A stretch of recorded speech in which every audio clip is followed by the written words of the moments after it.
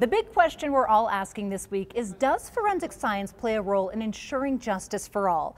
Vinny Desiderio from the National Institute of Standards and Technology is here to explain how standards implementation is a part of the answer. Thank you so much for joining us. Oh, thank you for this opportunity.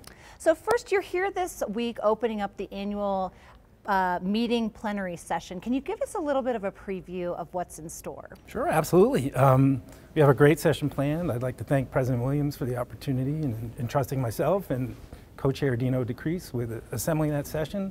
We have four very dynamic speakers that are going to uh, address the topic of justice for all from this forensic science perspective.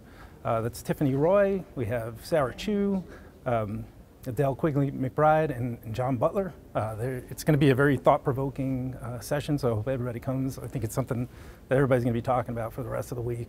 Sounds like it's going to be action-packed. I think so. so the issue of standards conformity continues to be a hot topic in this field.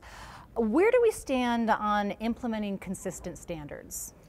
As, as, everybody here knows, there's a lot of effort going forth um, to assemble the standards and develop the standards, but right now implementation is something that's kind of out in the air. Uh, implementation, kind of like accreditation and certification, is it's a voluntary process. So nobody's really required to do it. So it's something that laboratories and agencies and practitioners have to make a decision, a conscious decision, to actually take those standards and put them into practice. Um, we're we at NIST are trying to uh, capture some of the information to see how much implementation is actually going on. And it seems like a lot of labs are implementing the standards, but they're not necessarily declaring that implementation. So we want to try to capture more of that data and encourage laboratories to declare implementation so we can use that information to help feed the process, to improve the standards, um, find gaps where standards need to be created, and just make a much stronger um, national system of standards.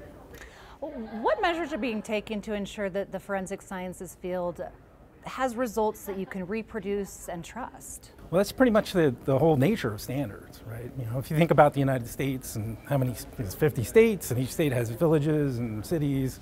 If everybody had their own driving rules, it would be kind of a mess. Nobody would know what's going on. exactly.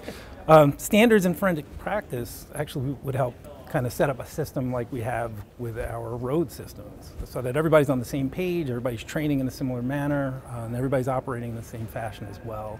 And then on the other end of that, the way information is reported and passed off to triers of fact, and people who are going to interpret that information uh, in courtroom situations, they know how to approach it, where things are going, and how it was done.